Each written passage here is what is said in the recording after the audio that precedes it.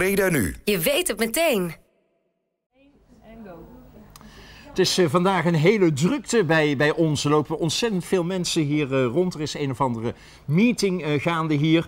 Maar wij zijn hier ook weer eh, te gast voor de zesde aflevering van de Bredaanse Wereldkeuken.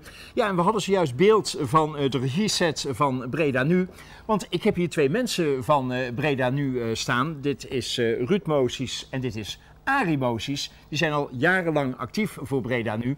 Maar met hun gaan we vandaag ook eh, koken en, en eh, praten. Ruud, jij, jij gaat voornamelijk het kookgedeelte doen, hè? Ik ga eenvoudige receptjes maken. Eh, ja, ja. Ja. Wat, wat, wat, wat krijgen we te eten dan? Ik ga een- iets met boontjes doen, met snijboontjes. En dat is een eigenlijk, eigenlijk een zelfgemaakt Mhm. recept. Ja. Ja, maar wel lekker. ja.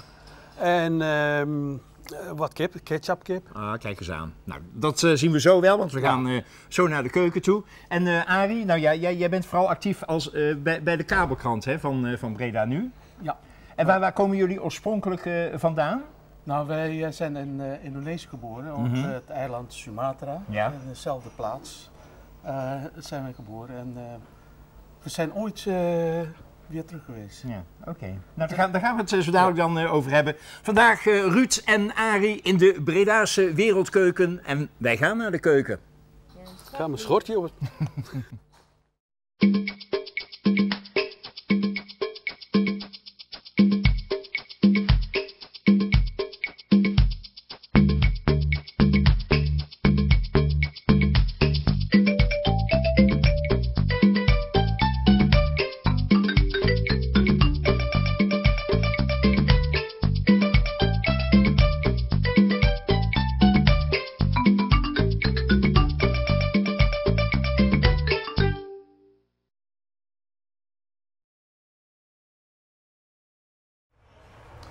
We zijn inmiddels eh, in de keuken beland eh, met eh Arie en Ruud, Ruud Mozes. Ja, met Arie had ik al eventjes ook over Breda Nu gepraat. Jij doet voornamelijk de kabelkrant, hè, waar altijd nog steeds heel veel naar, naar gekeken wordt. Blijft toch een belangrijk medium voor de lokale omroep. En Ruud, jij bent cameraman bij, bij Breda Nu. Ja, en, en montage. En, mont- en montage, ja, montage, ja, ja, ja. ja. Je hebt onder andere over het station heb jij ook Ja. veel items gemaakt, hè? Ja. En wij zijn samen nog een keertje op pad geweest met de historische Klopt. kilometer, weet ik wel. Klopt. Ja, ja. Doe, je- doe je dat al lang, eh, camerawerk? Camerawerk doe ik al heel erg lang, Mhm. maar echt eh, voor de omroep eh, nou een jaar terug. Zeven denk ik. En Arie, jij, jij do- doet al heel lang, dat weet ik zeker, eh, heel erg lang, de, de kabelkranten verzorgen. Ja, ik heb zo'n eh 13 jaar bij StadsTV eh de kabelkrant eh bestuurd. Ja. En eh, nu zo'n bijna drie jaar bij de Breda nu. Hm. Is, is dat anders, eh, of dat je, of dat, je dat eh, voor StadsTV deed of voor Breda Nu, of is het systeem gewoon hetzelfde? Uh, we, we hebben nu bij Breda nu een ander systeem als eh, bij eh StadsTV. En eh, dat was in het begin wel eventjes eh, vreemd, maar Ja. alles wint. Ja, ja. Hoe, maar hoe zijn jullie nu als, als, als twee broers alle twee bij de lokale omroepen terechtgekomen? Ehm, ik was als eerste. Ja? Eh, ik eh, ging de fut in. En eh, toen dacht ik, god, eh, ik moet mijn eh, dag wel een beetje vullen. Mhm. Heb ik me aangemeld bij StadsTV voor eh, eh, vier uurtjes in de week. En van vier uurtjes werd het gewoon zeven dagen, 24 uur. Ja, ja, dus eh, gewoon een 40 uur werk. Ja, week. Ja. ja, ja. En zo is bij jou ook een beetje eh, gegaan, Ruud? Nou, hij vroeg me een keer in de auto, we reden naar een optreden van hem. Ja. En eh, vroeg hij van, eh, wil, jij, eh, kan jij, wil, wil jij bij ons hoofd tv worden? Hoofd tv? hij zei, ah, er is niks aan. Hij zei, gewoon, gewoon, gewoon, gewoon wat, wat filmpjes bekijken of, of ze wel uitzendbaar Ja, zijn. ja. Ik zei, nou, ik ga zo dadelijk de fut in. Eh, met mijn 57,5 mocht ik de fut Ja. in. Ik zeg, eh, maar ik ga het eerste anderhalf jaar ga ik niks doen. Ga ik niks doen. Nee. Ik zeg, en daarna dan kom dan, dan nog maar eens een keer langs. Eh, in die anderhalf jaar heb ik dus kookles genomen. En sindsdien eh, kook ik dus eh, Indisch. Ja, ja, ja. En na anderhalf jaar heb ik eh, op een gegeven moment gezegd van, ja, ik doe het, ik word over tv bij jullie. Goed zo. Nou, nu we het over kookles hebben, dan is dat een mooi bruggetje om over het gerecht hier te gaan praten. Wat, wat, wat, want Arie die, die is niet van het koken, hè? Ja. Dus met hem ga ik zo dadelijk aan tafel zitten. Dus dan gaan we aan tafel wel eh, samen praten. Maar wat, wat ga je voor ons bereiden? Nou, ik ga iets met, met, met boontjes maken, maar met snijboontjes. Dus Ja? niet met gewone eh, boontjes. Mm. Ehm, dat is eigenlijk een, een gerecht die ik dus zelf heb samengesteld. Aha, Ja, wel met Indische kruiden. ja. En eh, iedereen vindt het altijd lekker. En met, met kip erbij, hè, zie ik eh, Ja, hier. en dan ga ik eh, kip Ja. ga ik smoren in, in, in ketchup. Ja. Ook met kruiden Dus bij. eh, boontjes kip à la Ruud. ja, ja zo'n beetje wel. Ja, ja. Eh, m- eh, moet, ik, moet ik nog wat, eh, wat doen? Eh, graag eh, hoor dat. eh, Oh, dat zo eventjes... eh, ja, het mes is niet al te scherp. Kijk, ik laat hier altijd een kroontje op zitten. Oh. Dan valt hij niet uit elkaar. Oh ja, ja. Nou, is gewoon eventjes, eh, want je, ja, ik zag daar Ja. ook al. Gewoon een beetje klein snijden, hè, toch? Ja, nou, ik zou het zo doen. Ja? Oh ja, ik ben... Ik Mis- ben Misschien een les. ja? Ja, ik begin altijd van deze kant. En Oh. dan snij ik altijd niet tot aan het kroontje. Oh. Kijk, dan, dan, dan blijft hij heel. Oh ja, oh ja, want daarom had je dat kroontje er juist eh, aan laten zetten. En dan, en dan zo. en dan Ja, heel fijn met, met je nagel. Anders snij je je vingers. ja, ja. Er zijn men, ja, een echte kok doet het, doet het twee keer zo snel als Ja, ik. maar goed. eh, Ja, en eh, kijk, het laatste stukje. nou, ik, dat mag jij verder doen. Dat, eh, ik, want, dat, er mag ook nog iets met eieren, hè? Met eieren Ja, mocht dat, dat vind ik veel leuker. Pak ik even deze pan erbij. Die moeten ze in, denk ik, hè? ja, Ja? En dan moet ik daar vier eieren in. ja, een klein beetje zonnebloemolie. ja? Kijk, in Indonesië hebben we geen olijvenbomen. bomen. Nee? Dus, gebru- ja. dus gebruiken wij eh, zonnebloemolie, Ja. plantaardige olie en, En geen, deze, deze, geen deze even kapot Gewoon slaan, hè? kapot slaan. En waar moet ik dit... oh, kan ik dat hier... eh? Ja, dat kan je hierin Oh ja, oh ja. ja.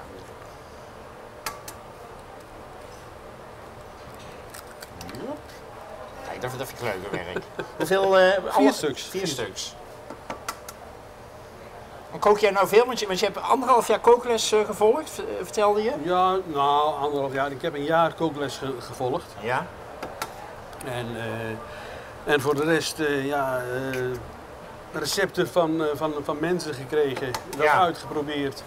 Veel recepten uitgeprobeerd. Tegenwoordig op internet staat ook heel veel. Ja, ja, dat is waar. Ja. Dus, eh, En nou ga je dit eh ja, dan, eh, door elkaar klutsen. Dan ga je dat heel, helemaal door elkaar klutsen. Dat het Mhm. dus echt een, een, een roereitje wordt. Arie, toen, toen jullie naar, eh, naar Nederland kwamen, toen was jij een jaar of eh, dertien, hè? En, en Ruud volgens mij een jaar of eh, zes. Ja. Ja, jij weet daar nog het, het nodige van te herinneren dan, neem ik aan. Jawel, jawel, jawel. Eh, zelfs eh, dat taaltje ken ik nog wel. eh, Ja? ja. Maar ja. waarom zijn jullie naar Nederland gekomen? Nou, mijn, mijn vader heeft, eh, die is, tijdens de oorlog is die, eh, eh, geïnterneerd. Mhm. Hij is eh, terechtgekomen bij, in Burma, met de Burma spoorlijn. Ja. Hij heeft het gelukkig overleefd. Ehm, het was wel zo dat hij mij pas voor het eerst heeft gezien toen ik zes jaar was. En ik hem ook. Ja. Ja. Want toen ik geboren werd, was hij al gemobiliseerd. En mijn moeder is toen met mij naar haar moeder gevlucht. Mhm. Uh, want haar moeder zat in een, in een, in een jappenkamp. En eh, ja, zij, zij had verder niks, dus ze wist niet waar haar man was. Toen dacht ze, nou ik ga maar na- naar mijn moeder vluchten. Ja, ja. En eh, daar zijn we dus terechtgekomen tot na de oorlog. Maar ja, de oorlog was nog niet voorbij. Toen kwam eigenlijk weer de volgende oorlog. Want de, de Indonesiërs die wilden toen eh, onafhankelijk zijn van Nederland. ja. En toen begonnen zij een oorlog tegen de Nederlanders. Eh, omdat wij Nederlandse roots ook hebben, ja. waren wij natuurlijk ook een doelwit voor die Indonesiërs. Ja, ja eh, ik heb van, tenminste van nabijheid ge- eh, gehoord, mijn, mijn oma, die is een Indonesische, die is toen met drie kinderen van haar vermoord Oh. en in een put gegooid, omdat zij met een Nederlander getrouwd was. Ja. Zo heftig was dat dus in die tijd. Zo heftig was het. Ja, ja. Ja. En dan hebben we het over de jaren... Eh, Eh, na, na, 50? Na 45, hè? Oh, ja, ja, ja. Eh, 4, 45, eh, na, na de Japanse oorlog. Ja. Toen brak eigenlijk nog een, nog een veel ergere oorlog uit. Ru- Ruud, Ruud, kun jij je nog iets herinneren van de tijd dat je op Sumatra eh, was? Eh, ik weet nog iets van het laatste jaar. Ja. Weet Want jij ik. was een jaar of zes, hè? Dus Ik eh, was- vijf, zes ja, jaar, dus zeg maar. Van mijn vijfde weet ik, weet ik nog iets. Ja. En de, de terugtocht, de overtocht naar Nederland, die kan ik me nog wel heel goed herinneren. Mhm. Ook de aankomst hier in Nederland. Want dat was met de boot, Ja. hè? eh, toch? Dat was nog ja. ook 30 dagen. ja, 30 Ja, dagen. 30 dagen, ja. Dat weet ik, dat weet ik nog wel. eh, Zeker omdat je, omdat je toen zeeziek werd. Mhm. ja, ja, ja. Ja. En, eh, maar echt Indonesië, eh, ik weet Nee. nog iets van, mijn, van de achtertuin en, de- en de zijtuin. Ja, ja, maar ja, ja. maar dat, dat is ook alles. Nou, we gaan daar dus dadelijk eh, verder over praten. Vind je het goed als, als, eh, als Ja. ik eh Arie mee aan tafel neem? Ja, dat jij met het eten verder gaat? Dan krijgen we straks wel dat opgediend. Ja, en dan gaan we natuurlijk eventjes aan de Bredana's weer vragen. Of dat ze inderdaad weten waar... Nou, laten we het maar op Indonesië houden. Dat lijkt me al, al moeilijk genoeg voor, voor de meesten. Het mooiste zou zijn als ze ook Noord-eiland Sumatra aan kunnen wijzen. We gaan over naar de kaart.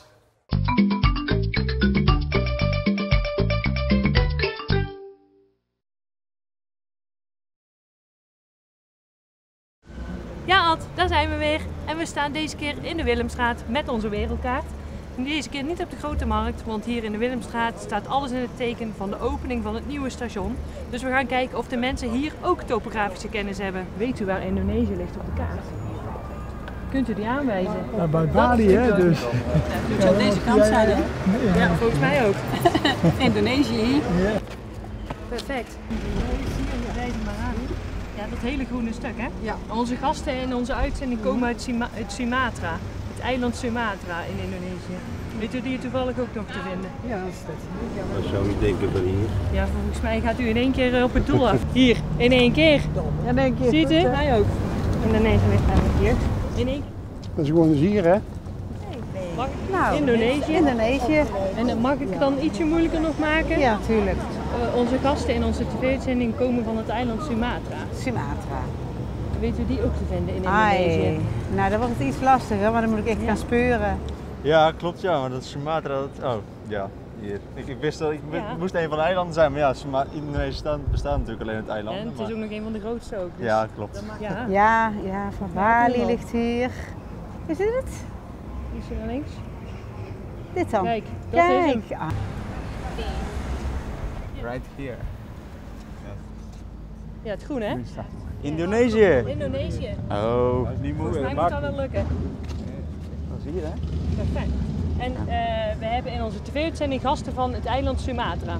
Sumatra. Kan je die ook aanwijzen? Het ligt in Indonesië, verklap ik alvast. Eh, nee, dat weet ik niet zo uit mijn hoofd. Even gauw. Als je goed kijkt, dan kan je het lezen. Niet zo. Perfect. Ik reken hem goed. Ja, volgens mij hadden de meeste mensen het goed. Indonesië is vrij groot, dus bijna niet te missen op de kaart. Voor degenen die het wel gemist hebben, wijs ik hem nog even aan. In het groen. De eilandengroep is Indonesië. En het linker grote eiland is Sumatra. Terug naar jou, Ad.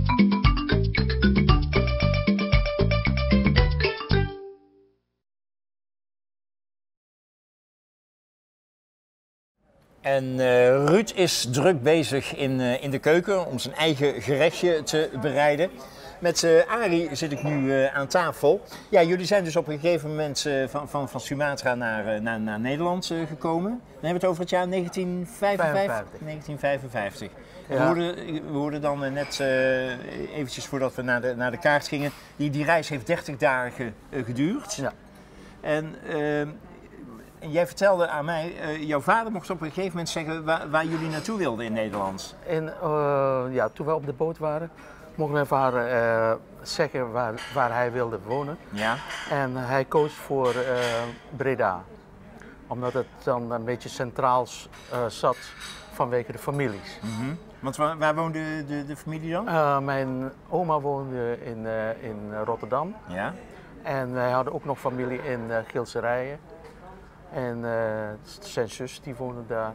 Ja, en zodoende zijn we in Breda terechtgekomen. ja.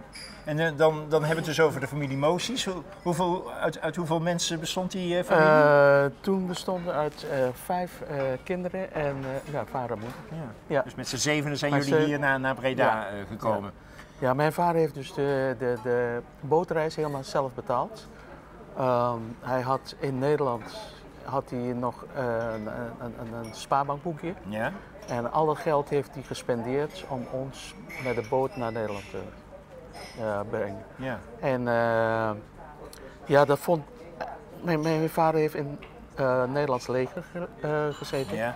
En op een gegeven moment ehm, werd hem in Indonesië zo bemoeilijkt met alles, met Ja. huis, vesting, met werk, Ja. Dat hij op een gegeven moment zei: Jongens, we gaan hier weg, we gaan naar Nederland. Ja. Want ook hij keek na- natuurlijk naar de toekomst van zijn kinderen. Van, eh, nou, ik ben hier weg en eh, ik heb toch nog wat geld op de bank staan en alle geld spendeerde hij. Ja. Dus we kwamen hier, mijn vader had geen geld en geen woning. Nee, nee. En waar, waar, waar, zijn jullie toen gaan wonen dan? We zijn op de Barnielaan. We hebben, Barnielaan? eh, ja, daar hebben wij eh, twee jaar in de pensioen gezeten. Ja? Ja, en eh, na twee jaar zijn wij naar het Brabants Park gegaan. Ja. ja. En de laatste die daar weg zijn gegaan, eh, in dat oude, ons ouderlijk huis, waren twee van mijn broers. Die zijn eh, ongeveer een half jaar geleden weggegaan. Ja. Dus daar meer, zo'n zo'n 60 jaar daar eh, gewoond. En jullie zijn allemaal dus ook in Breda blijven wonen, uiteindelijk? Ja, ja ik, eh, ik wilde nooit weg van Nee. Breda. Nee. Nee. Nee. Want wat, wat, wat is er dan zo leuk aan, aan, aan Breda? Wat, wat, wat vind jij nou zo leuk aan eh, Breda, zo bijzonder aan Breda? Nou, toen ik hier pas kwam, Ja. kijk, eh, eh, wij, wij zijn helemaal Nederlands opgevoed. Mhm. Ik heb op Nederlandse school gezeten en nou, thuis spraken we Nederlands. En, nou, en dan kom je hier en dan in die tijd eh, spraken ze nog veel dialect. Ja, Nou, dat vond ik geweldig. ja. ja. Dat vond ik zo, maar ik moest wel wennen. Hè, eh, kon, je, kon je het eh, verstaan, het, eh nou, in het begin. Ja, in, in het begin was het natuurlijk moeilijk, want ze hebben over pekaand. Ja. Ja. Dus ik denk, Wat zei wat- wat- ja, ik denk, wat, wat, zou dat zijn? En ook het, het groet en houdoe, Oh ja, houdoe. weet je wel? Ja. En dan denk ik, ja, zou dat van how do you do? Oh ja, how do you maar- do? ja. maar dat klopt niet, want als ze soms binnenkomen, zeggen ze al how do. Ja, Dus ja, ik denk, dat ja, klopt, nee, dat, dat klopt. nee, maar ja, eh, gaandeweg eh je kreeg je toch wel in de gaten hoe het allemaal zat. Een leuke anekdote was, Ja. maar ik heb ook familie in Zundert wonen. En toen ging ik met mijn neefjes daar aardbeien plukken. En ik was ne- net in Nederland en op een gegeven moment eh, kwam die boer naar me toe en hij had steeds over een deur. Dus ik riep mijn neef weg. Ik zeg, hij heeft steeds over een deur, maar ik zeg, ik zie hier op het aardappelveld helemaal geen deur. Nee, nee. Hij zegt, nee, je bent te langzaam, je moet doorgaan. Oh. Nou, jullie, jullie zijn nu inmiddels meer dan 50 jaar in, eh, in Nederland, hè? Bijna, bijna 60 jaar eh, volgens mij. Eh, is er nou heel, heel veel veranderd in, in de loop der tijden? Ook ja, zo- zoals de Nederlanders zich zijn gaan gedragen ten, ten opzichte van buitenlanders? Ja, kijk, in, in, in die tijd waren wij de exoten. Ja, Hè? ja. En, eh, maar ik heb daar nooit last van gehad. Ik heb daar juist in, persoonlijk profijt van gehad. Want ja, ik, als je jong bent, eh, nou, de meisjes vonden je wel interessant natuurlijk. Omdat je een exoot ja, bent. exoot, mooi, mooi kleurtje. Ja. Ja, en eh, ja, ik, ik speelde veel eh, mu- muziek. Ja, want jij, jij zat in de, of jij zit in de, in de Ja. rock en roll, hè? Ja, ik, eh, ik ontmoette mensen die in een rock and roll band zaten op school. Ja. En zodoende ben ik erin gerold. Maar mijn eerste band was eigenlijk een jazzband. En ik heb altijd gezongen. Dus eh, ik eh, zong daar evergreens. Ja. Maar de, mu- de muzikanten, waren, ik was eh, een jaar of 15. En de muzikanten waren veel en veel ouder. Maar het waren echt jazzmuzikanten. Ja, ja, ja. En toen, toen zag ik jongens bij mij op school die rock en roll deden. Dus ja, Want dat, de, de, de Rocking Teens, hè, waren toen, dat? toen heb ik, een, zijn we een bandje begonnen en dat heette toen de Rocking Teens. In 1957 hebben wij in Graanbeurs onze eerste optreden gehad. In de Gaanbeurs, in de Rijgenstraat? Ja, in Rijkenstraat. Ja. Eh, maar het duurde nog eh, zeg maar een, een- een jaar voordat, het, voordat ik echt begon op te treden. Maar hier in Breda had je niks. Nee, nee. Je had geen podia voor ons. Dus eh, ik had nog wat connecties in, in Rotterdam. Dus heb ik veel in Rotterdam gespeeld. Ja, ja. En toen ik weer in de jaren 60, begin jaren 60, in Prins Bernhard ging spelen. Prins Bernhard, wat is Prins Eh, Bernhard? Prins Bernhard heb je een Prins Bernhard zaal in, Ja. Bel, in de Belkrug. Oh ja, ja. En eh, daar speelde vroeger elk weekend speelden daar bandjes. Hmm. Nou, en wij kwamen daar eh, voor het eerst spelen, weer terug in Breda. En het ging van, ging van mond op mond. Van, ja, dat is die band die in de- uit de grote stad. Ja, ja. Ja, die speelde altijd, Rotterdam was een grote stad, daar keken ze hier echt tegenop. ja. Want ja, het was boers hier nog, weet je wel. Kneuterig. Ja, En, ja, eh, ja, dat was dan eh, toch nog anders eh, Rotterdam of, of Ja. eh, eh, Ja. Brabant. Hè? Dat waren Ja. nog de, de Ja. Brabantse broertjes. Ja, ja, ja, ja. Nou, Zo, en, zo, zo, eens eventjes, dat is misschien wel leuk, want nou hebben we het daar heel tijd over. Zullen we even een, een stukje muziek eh, laten zien van, van de Rocking Teens? Want dat zit wel in het archief van, eh, Ja. van Breda nu.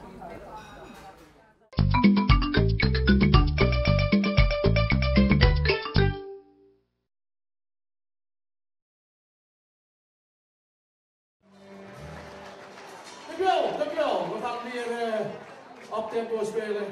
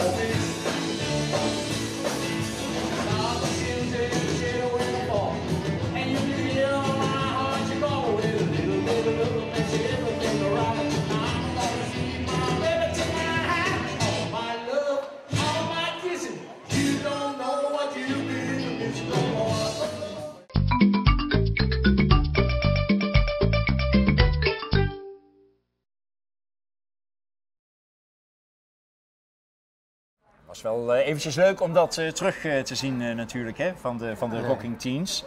Ehm, zijn jullie ooit nog wel eens terug geweest naar Sumatra? ja, ik ben twee keer in Indonesië geweest. Eén keer met, met mijn vrouw en haar nicht. En de tweede keer met twee broers van mij en een zuster die daar ook geboren zijn en helemaal niks van het land wisten. Ja. Toen hebben ze aan mij gevraagd van God, eh, zou jij een soort gids willen zijn daar?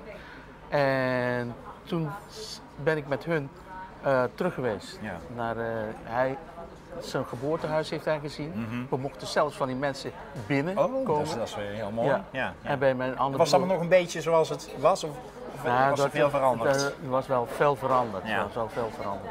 En eh, bij een van die huizen van, waar mijn broer, mijn jonge broer, geboren was, kwam op een gegeven moment de buurman naar buiten. En hij vroeg aan ons, oh, komen jullie uit Holland? Ik zei, ja. Eh, ik zeg, we hebben vroeger hier gewoond. En we, hij zei, hoe heten jullie dan? Moses. Oh, de, hij zegt, eh Laurent Moses. Oh, oké. Ik zeg, ja, dat is mijn Oh, vader. oh, ja, dat- wist hij allemaal nog. Dat wist hij allemaal Zo, nog. Ja, en, ja. daar sta, sta je even van te kijken. Ja, ja, ja. En eh, wat ik van die reis vond, is toen ik terugkwam had ik een, een, een, een, echt een goed gevoel van ik heb mijn eh, twee eh, broers en mijn zus iets gegeven. Ja, ja, wat ja, zij, anders hadden zij dat nooit Nee, kunnen doen. nee, nee, nee. Want wij zijn geboren in een plaats waar nooit eh, eh, toeristen komen. Het was maar een klein gehuchtje, Ja. hè? Ja, heb ik begrepen. Ehm, nou ja, ik krijg een seintje dat het eten ver klaar is. Dus wij, wij gaan jou, jou, jouw broer Ruud erbij roepen. En dan krijgen we het hier aan tafel. Ja, dat is goed.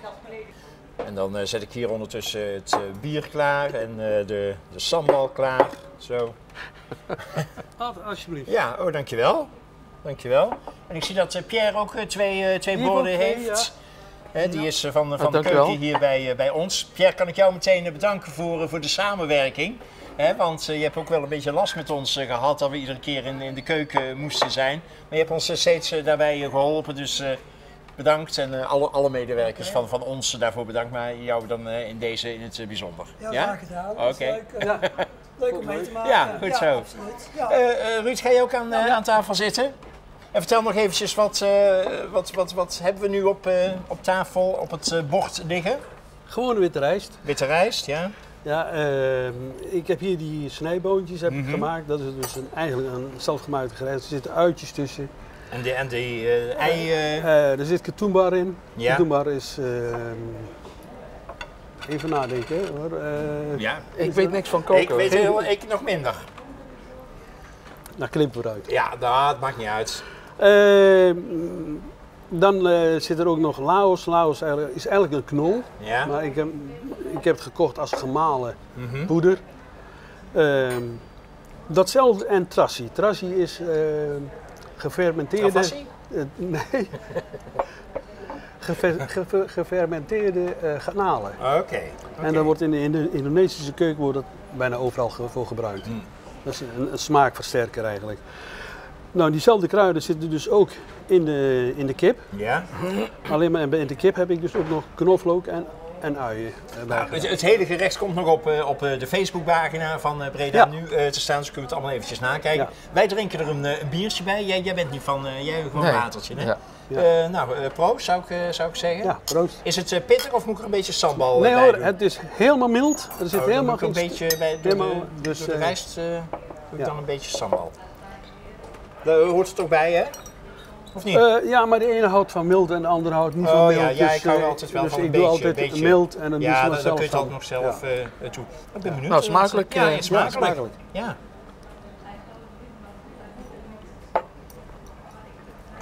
Ja, nou ja.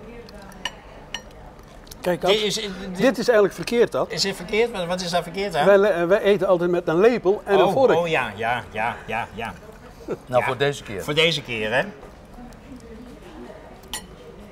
Nou, wij gaan eh, hier eh, lekker aan, eh, aan de maaltijd. Dit was weer een aflevering van de Bredaanse Wereldkeuken. En de laatste aflevering, ja, die zit er ook nog aan te komen. Dus over een paar weken zijn we er weer met de Bredaanse Wereldkeuken. En daarna gaat Marieke het weer overnemen met Smaakmakers. Ik bedank jullie dat jullie aan tafel wilden zitten en het gerecht wilden bereiden. En we gaan, lekker, we gaan het lekker opeten Ja, en smakelijk. een biertje erbij. Ja, Ja. dankjewel.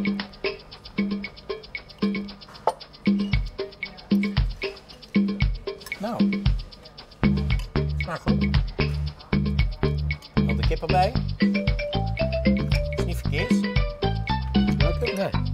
Ik eet, ook, ik eet eh, dit ook voor het eerst. Ja? Ja, dat is zeker echt. Ja, ja, ja, ja. Kip la route, hè?